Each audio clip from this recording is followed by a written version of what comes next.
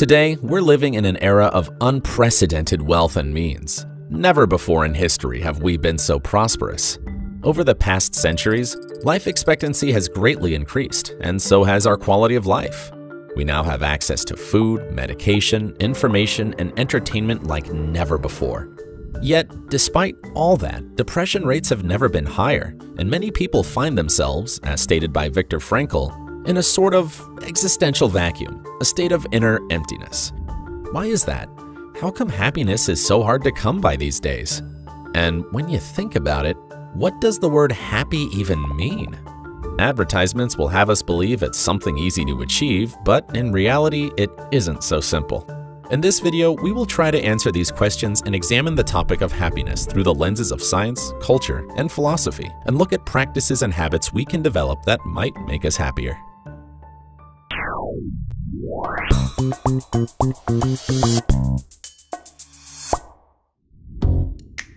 A general and widely believed assumption is that wealth is a reliable source of happiness, so let's start there. Research companies such as Ipsos and organizations such as the World Database of Happiness of Erasmus University gather yearly data and reports on such matters. By examining their findings, however, we see no clear correlation between levels of income and reported levels of happiness. For example, a poll published in 2012 by Ipsos, consisting of 24 countries and at least 500 individuals from each region, found a slightly higher levels of reported happiness among low and middle income countries compared to higher income countries. Whereas, a similar Ipsos poll from 2019 found high income countries to be slightly happier. It's important to note, however, that there are many different variables that may affect the results of such polls, such as cultural differences, political turmoils, insufficient sample sizes, or other socio-economic factors. That being said, we still see no trend in any direction between a country's average level of income and the happiness of its inhabitants. Another factor at play when discussing the relationship between income and happiness is what is known as the relative income hypothesis.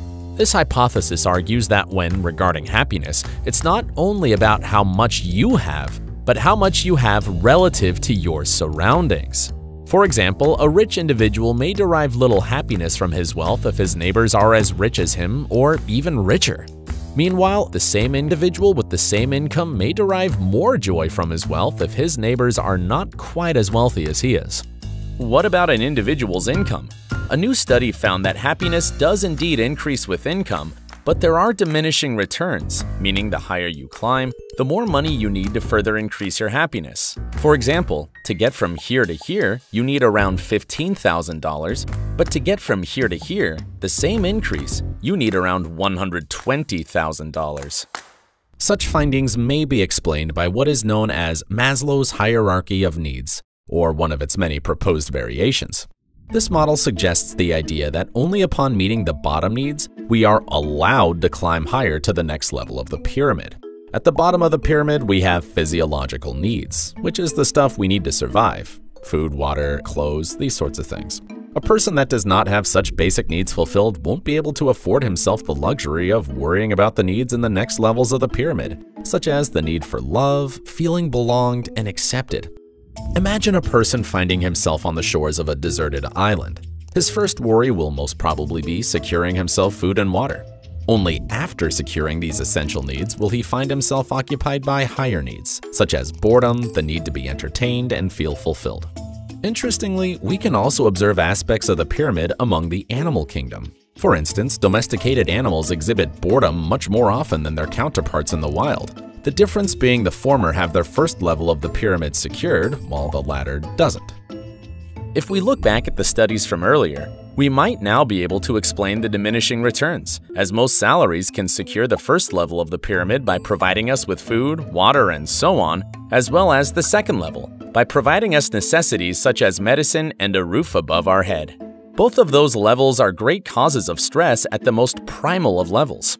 Speaking of primal, what does our evolutionary past have to say on this matter? A possible theory goes as follows. Meet Caveman A and Caveman B. Let's call them Bill and Jack. They both require warm enough clothes to survive the upcoming winter. The difference between the two being that Bill finds himself easily satisfied while Jack has a much harder time feeling content. Let's assume they have both acquired pretty much identical clothing. Bill, being prone to feel content with what he got, decides he has enough. Jack, on the other hand, never feels more than short-term satisfaction with what he has and always wants more, decides to get even better, warmer clothes. Normally, both would have survived the winter just fine. But this year, winter was especially cold and harsh. Bill, who has survived just fine until now, being happy with what he had, didn't make it through this time, while Jack, always wanting more, accumulated enough to get him through this brutal winter. Jack's genetic trait, dictating him to never feel satiated, proved beneficial when faced with greater environmental stress. Perhaps even more importantly, those who not only felt less content, but also wanted to have more than their mating competition, were more likely to be perceived as worthy and providing sexual reproduction mates. Thus, after many generations of natural selection, the genes that caused individuals to always want more and to one-up their competition became increasingly widespread across the population. The end result of such an evolutionary process is us, a species who's having a really hard time just being happy with what he has. Take a moment to look around you. Notice all the incredible things you're surrounded by that you always take for granted your computer or phone you're watching this very video on, your air conditioner, even the ice cubes in your beverage. We notice an interesting cycle here. We desire a thing, believing it'll make us happier, and upon acquiring it, our happiness level indeed increases, but only for a short while. Like Caveman Jack, we feel short-term satisfaction with our new possession, but after a short while, we get used to our new circumstances and our level of contentment subsides back to its normal level. The new thing which granted us so much joy quickly became our new norm. Findings by psychologist Philip Brickman and his colleagues tell the same story. They measured the levels of happiness among lottery winners and noticed that they quickly became accustomed to their new lifestyle and returned to the level of happiness they had before. If they were miserable before winning the lottery, they returned to their misery shortly after. And it doesn't just affect our need for material possessions. The same process occurs in regards to satisfaction with our career, with goals in our personal lives, and so on. How long will happiness from a job promotion last? After the novelty of your recent promotion will pass, so will the burst of happiness that came with it. And again, you will find yourself accustomed to your new norm.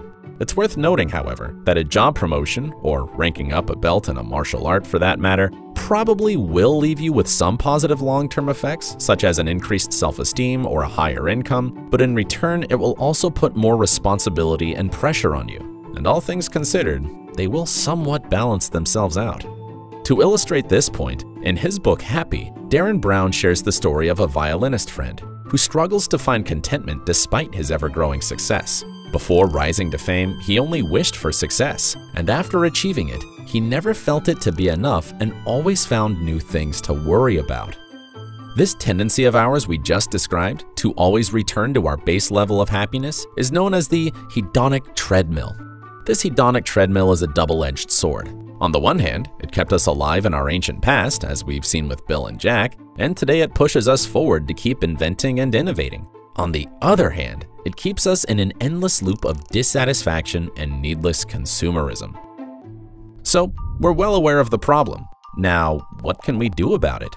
There's obviously no magic pill or easy way to become instantly happy, and some of the practices we're about to discuss may be simple in theory, but can be very difficult in practice. Internalizing and implementing them into your daily routine will require commitment and awareness on your part. But let's look at some habits and practices we can develop in order to feel more content in our lives. We've talked about our tendency to take things for granted. By being aware of that tendency, we can rewrite it with gratitude.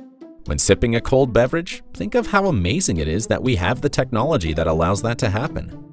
Until around a century ago, in many parts of the world, an ice-cold drink could have only been dreamed upon. Today, having a refrigerator is granted, so we don't even think about how amazing cold drinks are. Make a habit of appreciating the things everyone takes for granted. It will cause you to enjoy both the little and the big things in life a lot more. With enough awareness and practice, you can even learn to love a minimalistic and plain existence and even simpler, less fancy things. While for some people, social media may be a good place to form connections and socialize, it might make others feel lonelier. It can cause you to spend less time in the presence of actual people, which promotes loneliness, which in turn can promote depression. If you're one of these people, try cutting back a bit and see how it makes you feel. Another negative aspect of social media is that it promotes comparison with others. People will usually share only the good aspects of their lives and project a false sense of happiness and success. Here is a very photogenic picture of me. Here is a picture of the beautiful place I visited today. However, will they share a picture of them getting caught with an awkward face? Will they also show pictures of what their boring days look like? Not likely. That way, we can easily get a false impression that everyone else's life is always awesome except ours. It's unhealthy to compare yourself to others, and they are probably comparing themselves with you all the same. Stoicism is a topic that deserves a dedicated video, but for now, let's focus on one of its key concepts for the sake of practicality.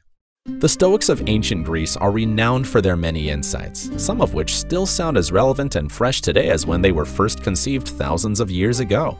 One of these ideas is relinquishing control, Today we know it in the form of the famous Serenity Prayer, which echoes its message God, grant me the serenity to accept the things I cannot change, courage to change the things I can, and wisdom to know the difference. The idea is knowing to let go when the situation is beyond your realm of influence.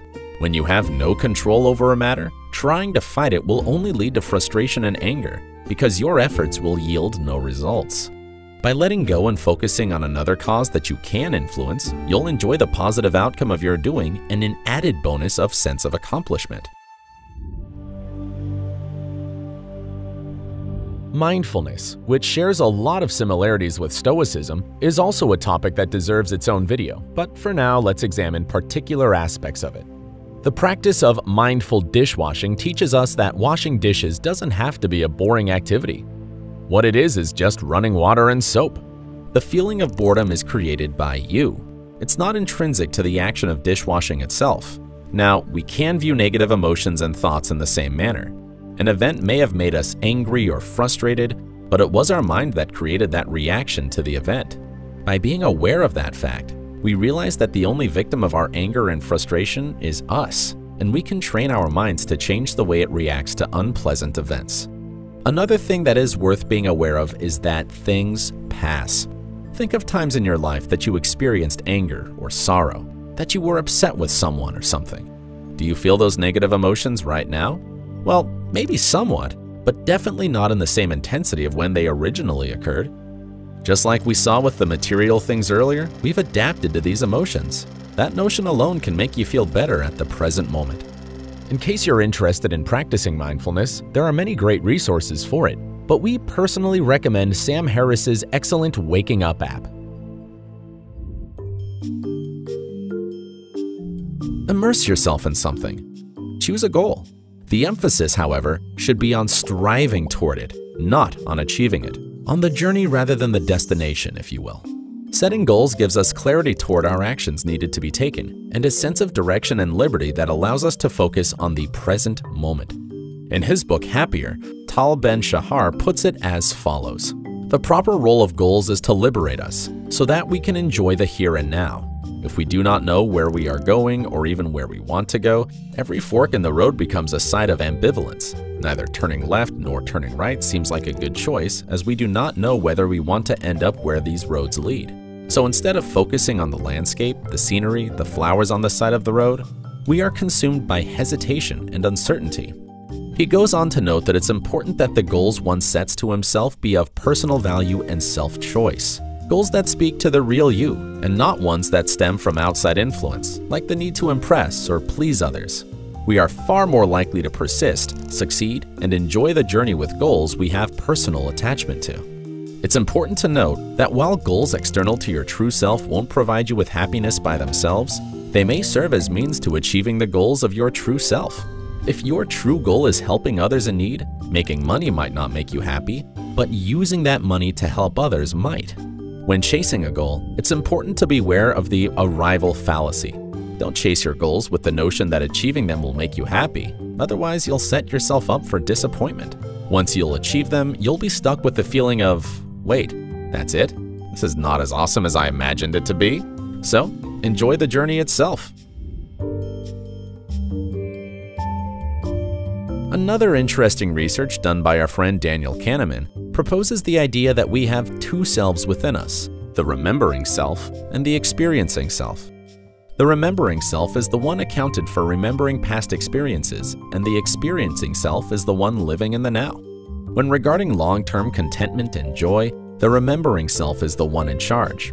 Say you returned home from a long day at work and only want to relax and watch TV.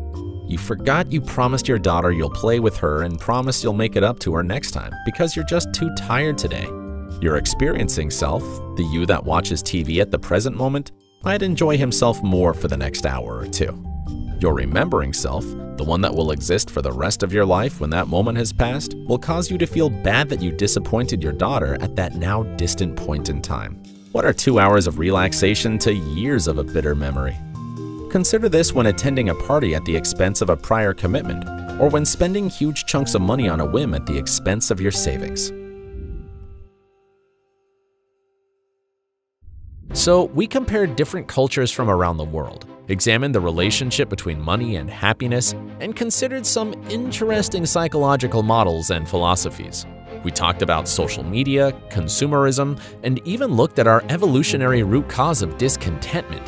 And although there are no easy tricks to magically become happy, we now understand the question of happiness a bit better, and hopefully we've acquired some tools to help us become a little happier ourselves. Thank you very much for watching, and hopefully you found this video helpful. Since this is our first video, we will greatly appreciate if you like, subscribe, comment, or basically do anything to let us know that you enjoyed this video.